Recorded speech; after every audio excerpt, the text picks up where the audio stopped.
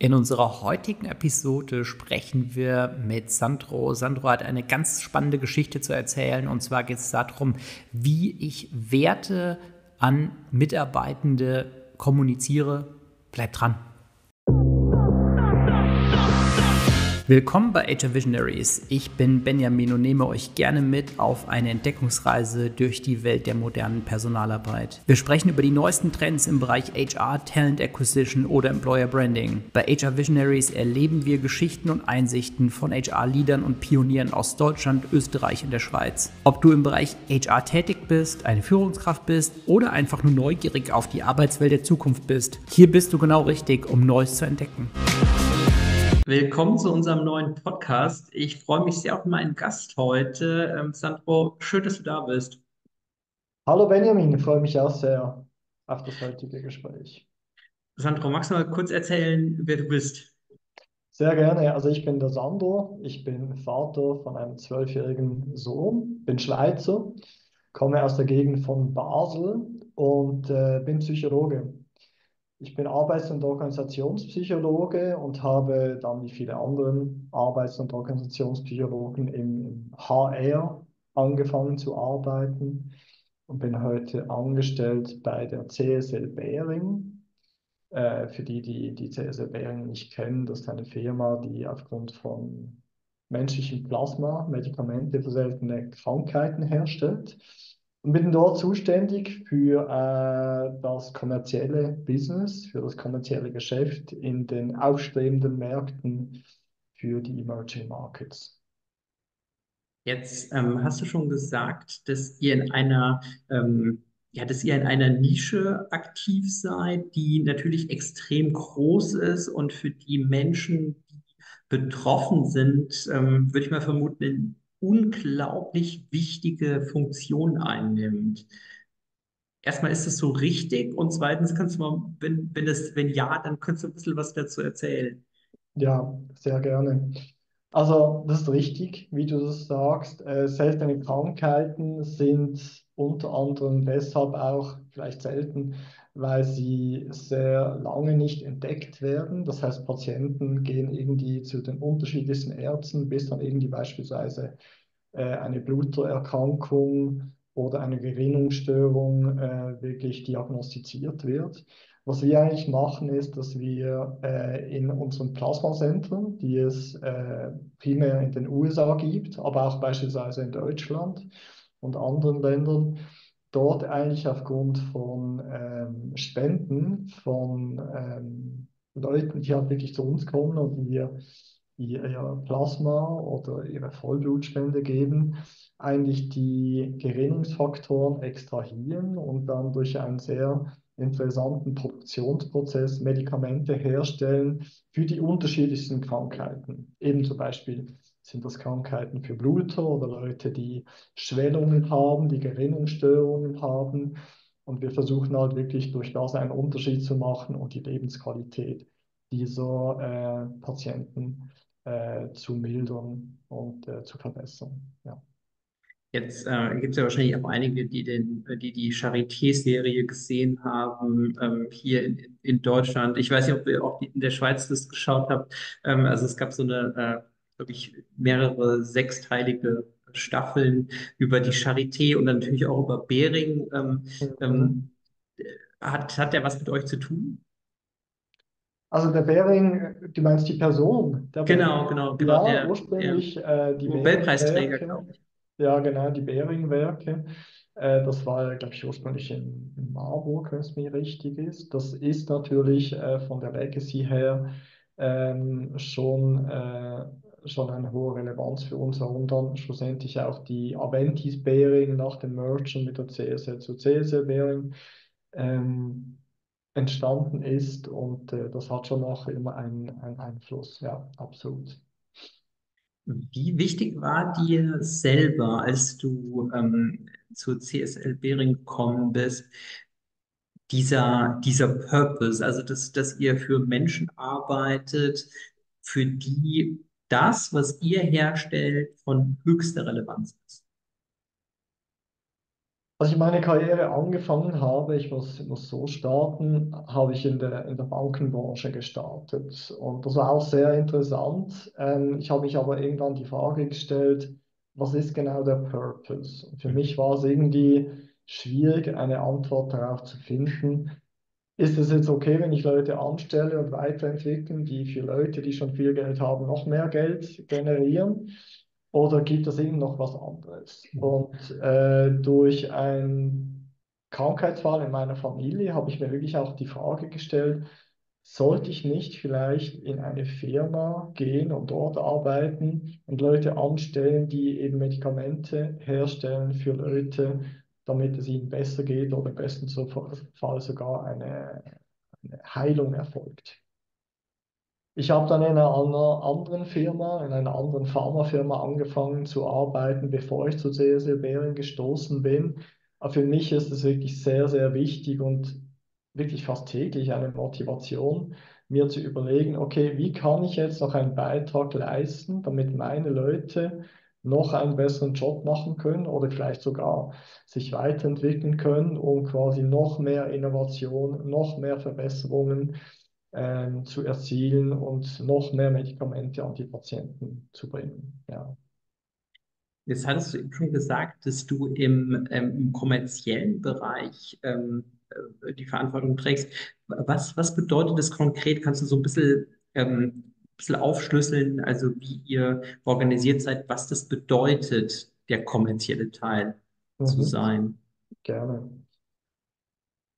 Im kommerziellen Teil ist es eigentlich so, dass wir halt durch äh, die üblichen Anstrengungen, ich sage es mal Marketing-Anstrengungen, natürlich mit sehr viel Unterstützung von ähm, wissenschaftlichen Daten und mit den richtigen, äh, ich sage es mal Stakeholdern, mit den richtigen Leuten versuchen halt die Gesundheitsministerien die Ärzte, die Patientenorganisation davon zu überzeugen, dass unsere Medikamente wirklich einen großen Unterschied im Leben von diesen Patienten machen. Wir machen auch sehr viel Aufklärungsarbeit, ähm, was, wie unsere Medikamente hergestellt werden.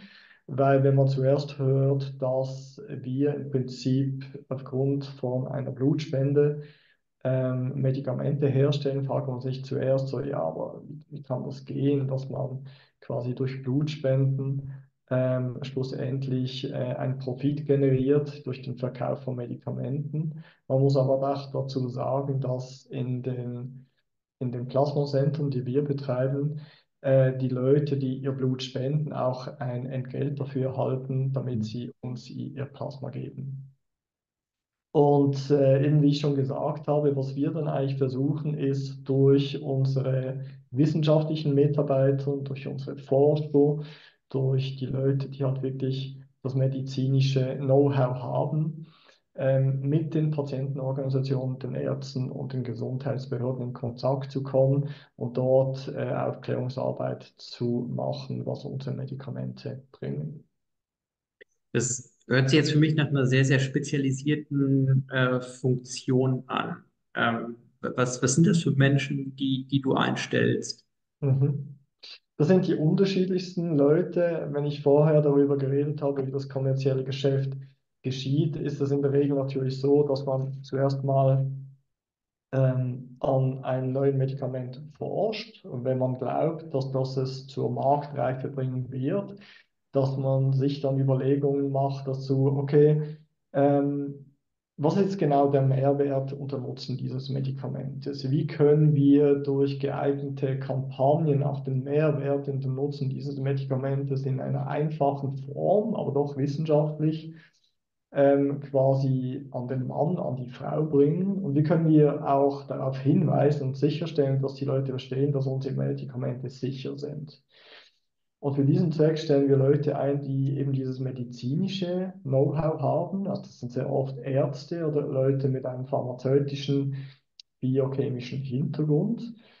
Und da stellen wir aber auch Leute an, die im Marketing gearbeitet haben oder wissen, wie man beispielsweise neues, äh, ein neues Marktumfeld erschließt, neue Medikamente quasi äh, auf den Markt bringt.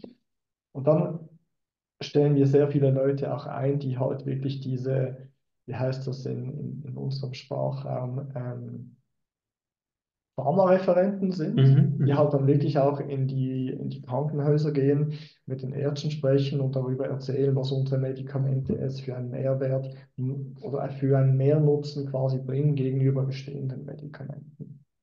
Das ist eigentlich die ganze Palette. Natürlich stellen wir auch Leute ein, die einen Finanzhintergrund haben oder Leute, die beispielsweise auch aus ähm, dem eher Digital-Bereich kommen, die uns quasi helfen, diese Big Data, die ja überall generiert werden, versuchen zu verstehen und daraus eigentlich dann geeignete Maßnahmen ableiten, die uns wiederum helfen, noch mehr Patienten zu erreichen. Ja.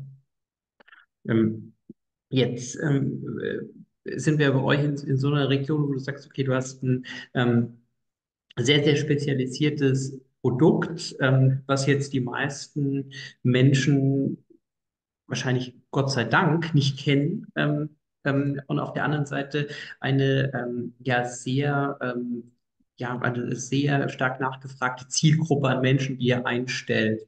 Ähm, wie kommuniziert ihr diesen ja, dies, diesen Purpose, dass ihr halt sagt, hey, das, ähm, was ihr macht, das hat einen enormen Einfluss auf das Leben von, von, von unseren Kunden. Also, wenn ich deine Frage richtig verstehe, geht es, glaube ich, darum zu kommunizieren, warum soll jemand bei uns arbeiten? Und, genau, genau. Und was ist vielleicht der Unterschied, wenn du bei uns arbeitest im Vergleich zu, wenn du eben nicht in einer Firma arbeitest, die Medikamente herstellt?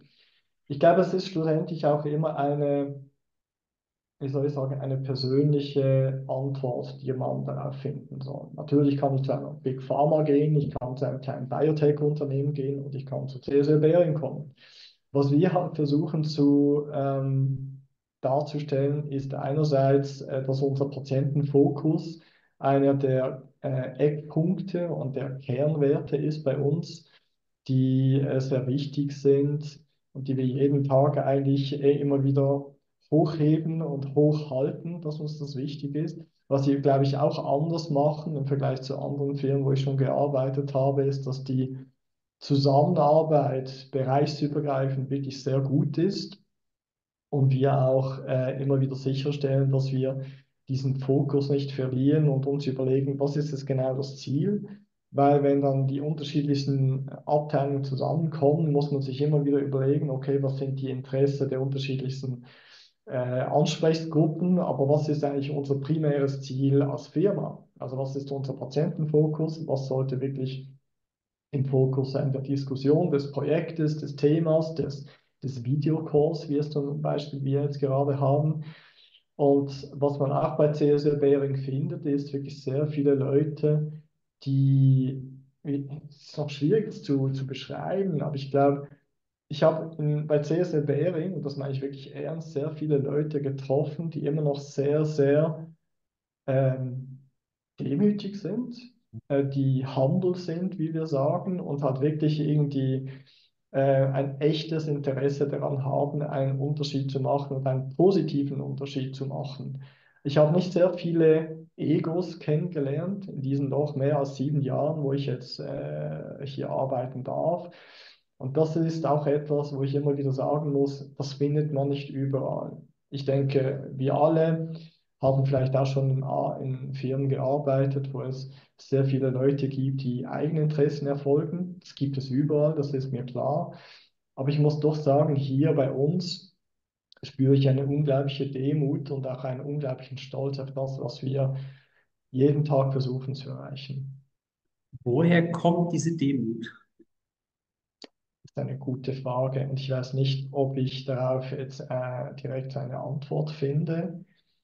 Aber ich glaube, man wird immer wieder darauf hingewiesen, wenn man vielleicht ein bisschen vom, vom Fokus abweicht, dass das primäre Interesse vielleicht nicht eine tolle Initiative in, ich sage es mal, in der Finanzabteilung, in der Personalabteilung oder in der Forschungsabteilung ist, einfach, dass man eine tolle Initiative hat, man wird immer wieder gefragt, ja, das ist toll, tolle Idee, was du hier bringst, aber was genau bringt das den Leuten, die die Medikamente an unsere Patienten liefern?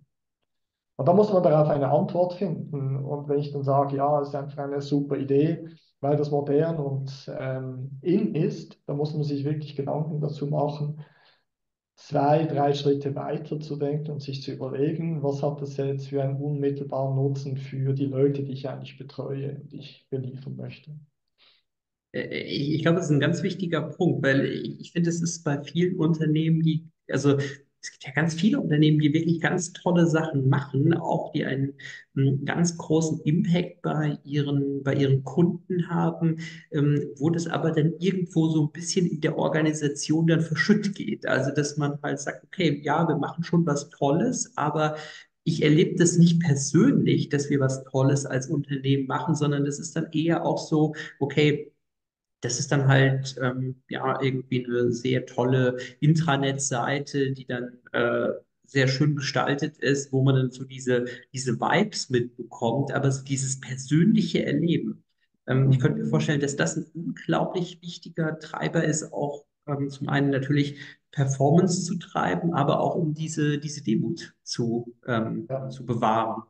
Absolut. Ich denke, ähm, die, die tollen Homepages, die du jetzt gerade angesprochen hast, die, die, die haben wir sicher auch. Oder wir haben ja auch Marketingleute, irgendwie gehört das heute auch dazu, dass man eine tolle Homepage hat.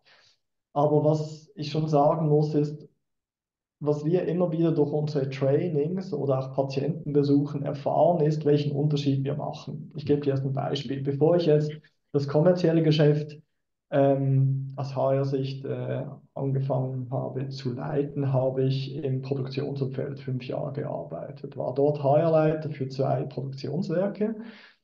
Und die Leute, die eigentlich diese Blutspenden, wenn die angeliefert werden, zu Medikamente verarbeiten, die sind ja ganz, ganz weit weg von den Patienten. Mhm. Und die stellen sich ab und zu auch die Frage, ja, wer ist das eigentlich genau? für den ich das hier jeden Tag mache.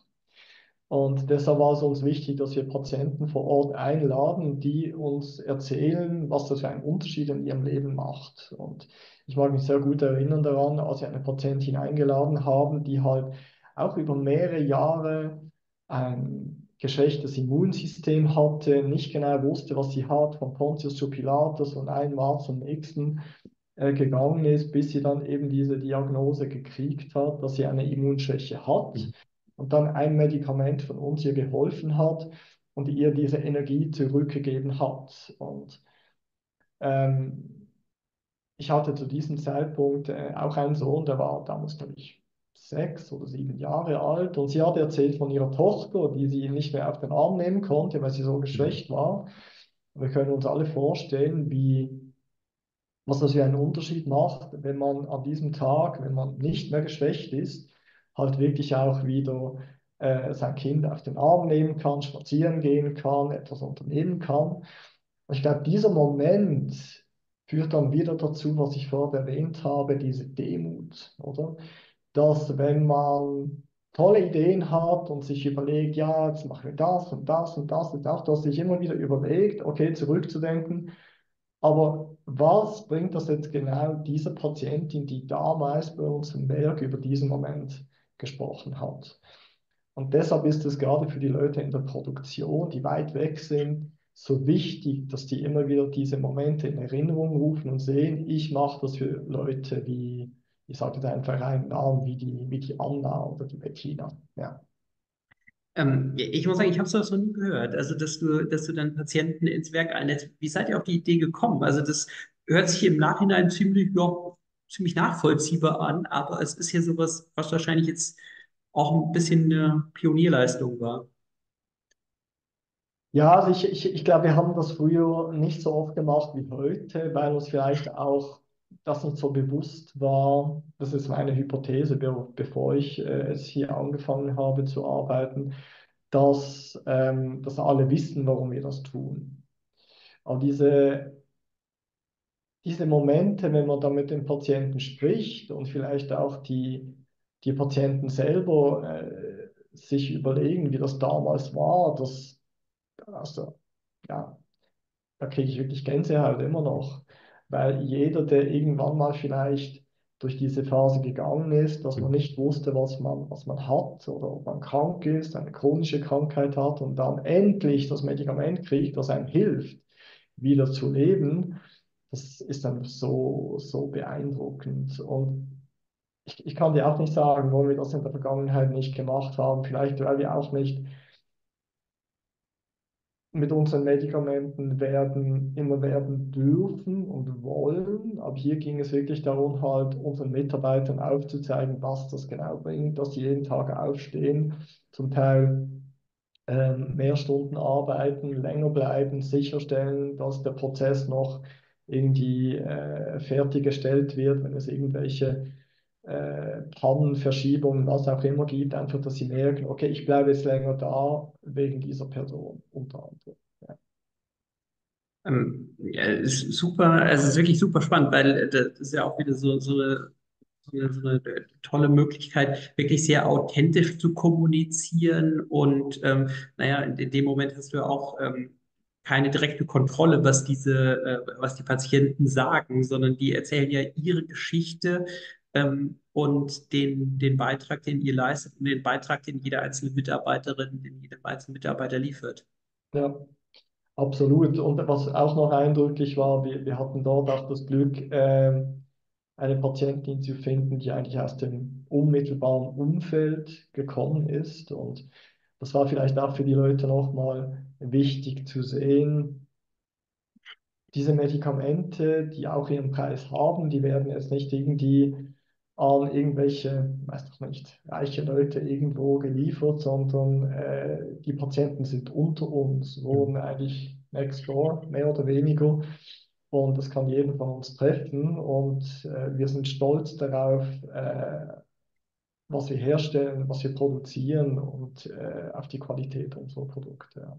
Ich denke, das ist ein bisschen wie ein Slogan, aber ich meine das wirklich ernst, weil es ist nicht so einfach, ein Medikament herzustellen, jeden Tag in der gleichen Qualität. Und es ist halt wirklich was anderes als, ja, ich sage es mal, ein Produkt herzustellen, was vielleicht einfacher herzustellen ist. Das ist ein relativ komplizierter Produktionsschritt mit sehr, sehr viel Know-how, mit ganz, ganz wenig ähm, ganz, ganz wenig Abweichung, die es geben darf, wenn es überhaupt Abweichungen geben darf vom Prozess. Und auch die Prozesse werden regelmäßig durch die Gesundheitsbehörden, durch die FDA oder die Swissmedic hier in der Schweiz äh, wirklich auch untersucht und kontrolliert. Ja. Ähm, das ist eigentlich eine ziemlich interessante Überleitung, weil ich wollte gerade fragen, ähm, wie du für eine, ein Unternehmen Werbung machst oder, oder Marketing machst, ähm, wo du sehr stark reglementiert bist, was die Werbung für die Produkte betrifft. Also wir haben jetzt gerade schon besprochen, ähm, ähm, diese ja, die, die Testimonial sozusagen oder, oder, oder, oder ähm, Erzählungen von Patienten auf der einen Seite. Auf der anderen Seite stelle ich mir das auch als eine gewisse Herausforderung vor, dass du jetzt nicht sagen kannst, wie wenn du jetzt ein Automobilhersteller bist oder ein Kosmetikhersteller, wo du sagen kannst, okay, das sind unsere Produkte, die mögt ihr doch alle, das ist doch alles super. Ähm, und ähm, wenn du dann neue Talente ansprichst, kannst du dich schon damit identifizieren. Bei euch, wie du schon sagst, ihr seid hochreguliert, gibt es dann natürlich viele Limitationen. Also ich glaube, wir dürfen jetzt auch keinen, ähm, keinen Namen von euren Medikamenten hier ansprechen, glaube ich, weil es dann auch wieder gegen Gesetze verstößt zum Beispiel. Ja, das ist richtig. Wir haben ähm, einen ziemlich strengen ähm, Unternehmenskodex, sage ich jetzt mal. Das heißt, ähm, ich, ich, ich darf und ich will auch keine Werbung für unsere Produkte machen. Und ähm, wir müssen auch sicherstellen, dass wir uns wirklich an das halten und integer, integer sind, was das betrifft. Ähm, schlussendlich aber das regulierte Umfeld ist sehr, sehr wichtig, weil es halt auch für unsere Medikamente, wie auch für alle anderen Medikamente, Nachahmerprodukte gibt, die je nachdem halt dazu führen, dass es, ähm, dass die Produkte nicht gut ähm, von den Patienten ähm, aufgefasst werden oder quasi ähm, es zu Nebenwirkungen kommt, die wirklich auch einen Einfluss auf den Körper, auf den Patienten haben. Und deshalb ist es uns wichtig, dass wir durch die geeigneten Qualitätskontrollen, Qualitätssicherungen und auch äh, eigene Kontrollen und Audits, die wir machen, immer wieder wirklich testen und sicherstellen, dass unsere Prozesse super sicher sind. Ich meine, in der heutigen Welt sieht man ja auch ähm, durch die unterschiedlichsten Social Media oder vielleicht auch ähm, das Darknet, dass man Medikamente irgendwo beziehen kann, wo man weiß, ja, das ist ein Plagiat, das ist gar nicht echt. Und ich glaube, ähm, die Echtheit und die Sicherheit eines hochwertigen Medikamentes, egal in welcher Firma, ist unglaublich wichtig, dass man sich immer wieder selber testet und auch darlegen kann vor den Gesundheitsbehörden, dass das, was wir tun, äh, kontrolliert wird und sicher äh, vonstatten geht. Ja.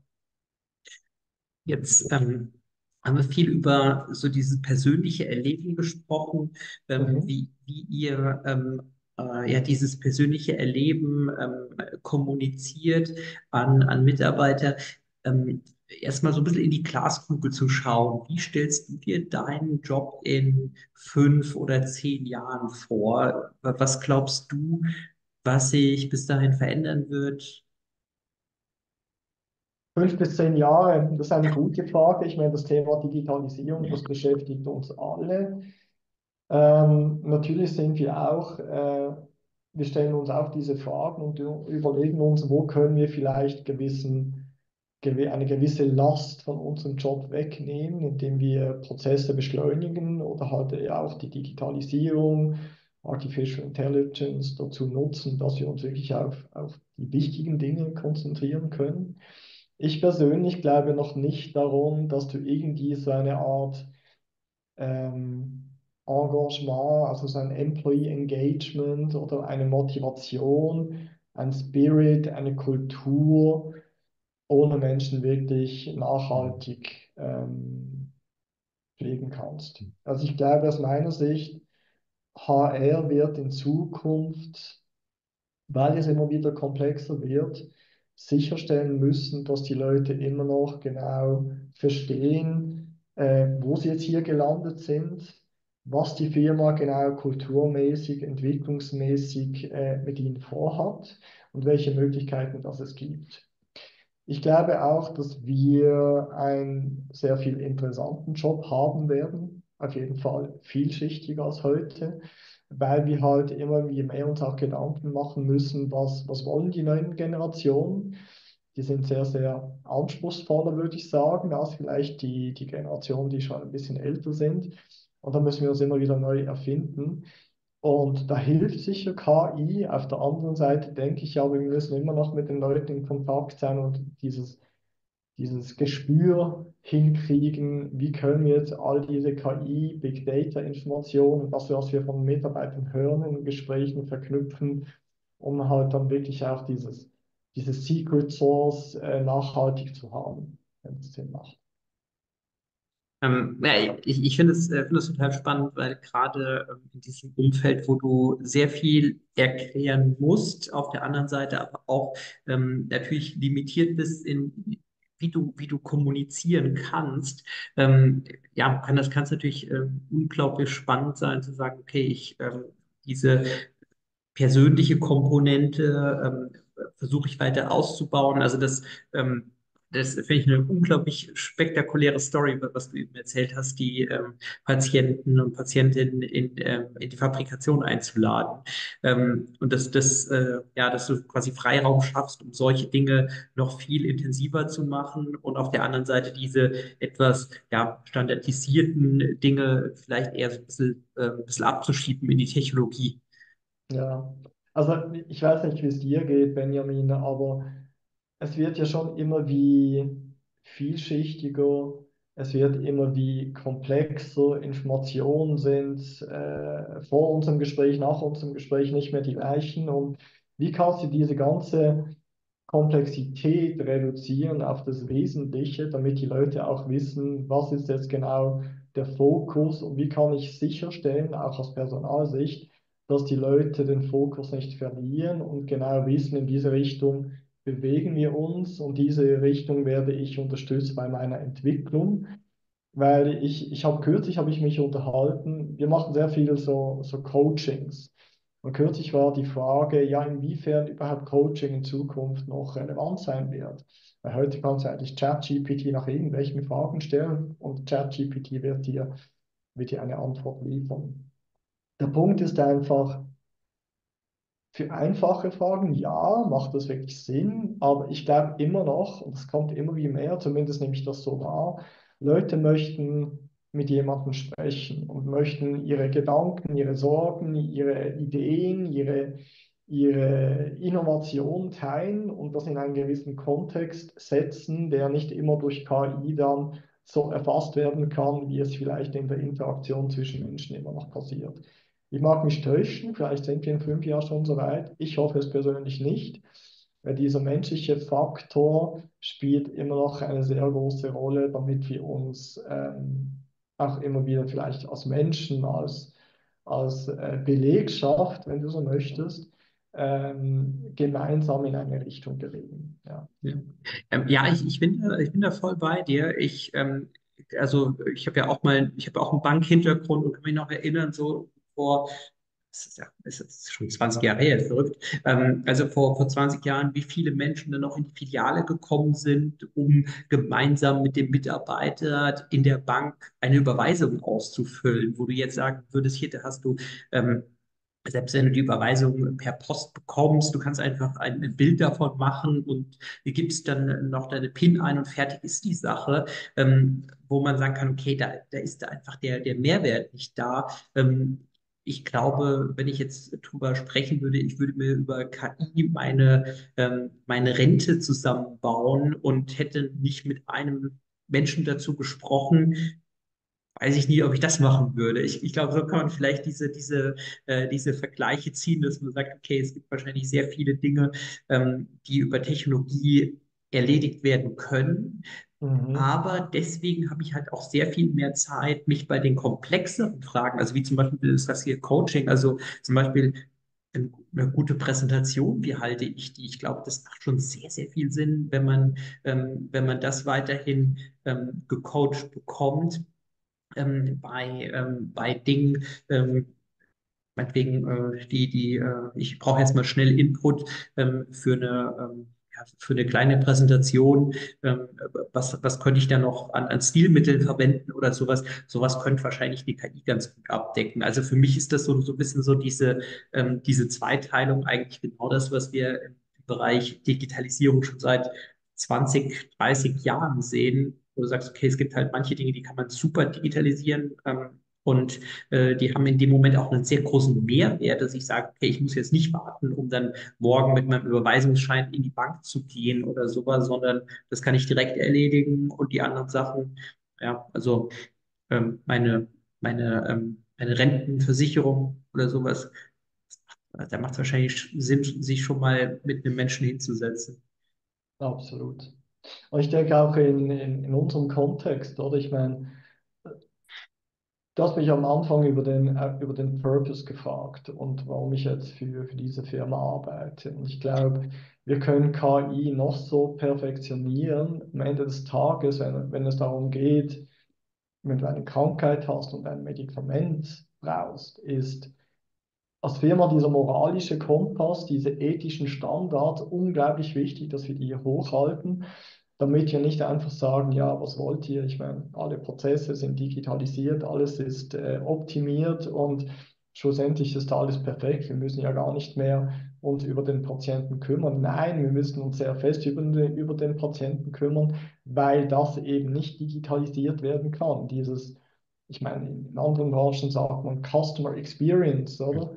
Diese Patient Experience, wie sie ernst genommen werden, wie sie verstanden werden möchten und wie sie auch sagen, warum unsere Medikamente oder die Medikamente irgendeiner Firma sicher sein müssen. Das ist so wichtig. Und diese Aspekte müssen wir unbedingt hochhalten und sicherstellen, dass die nicht irgendwann zu digitalisiert werden, sondern immer noch sehr menschlich daherkommen.